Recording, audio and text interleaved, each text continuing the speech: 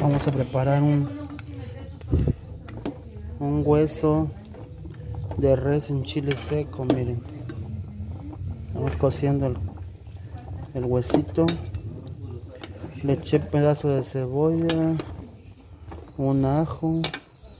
Aquí está la cebolla.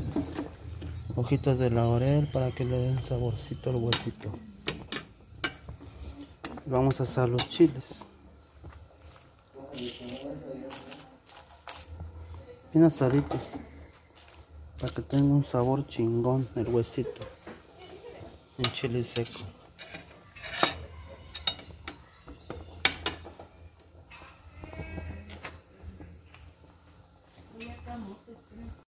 Ya los asé, ahora los vamos a poner a remojar. Para que se remojen chingón. Los pongo en una olla y les prendo y les echo agua. Ya que hierve, yo les apago. Y ya se están remojando. Mientras está el huesito. El huesito de vaca.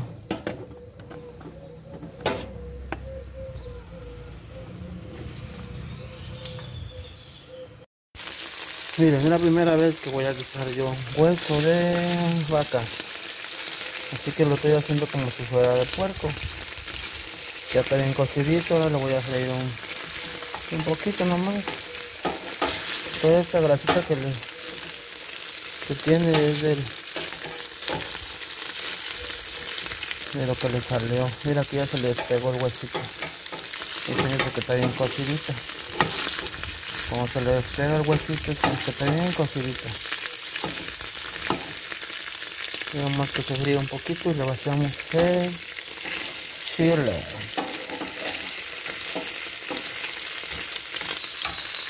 Ya tengo el chile listo.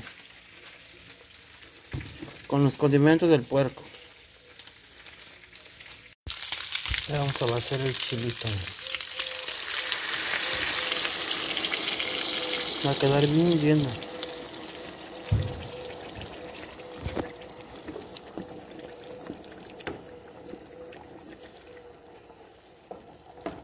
Al tope.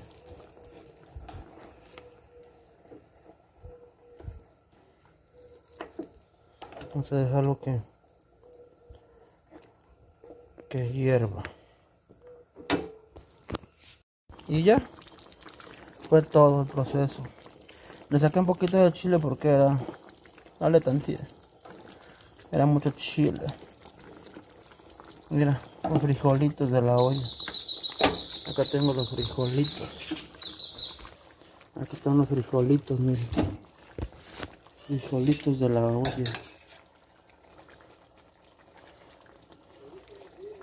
¿Quién va a querer?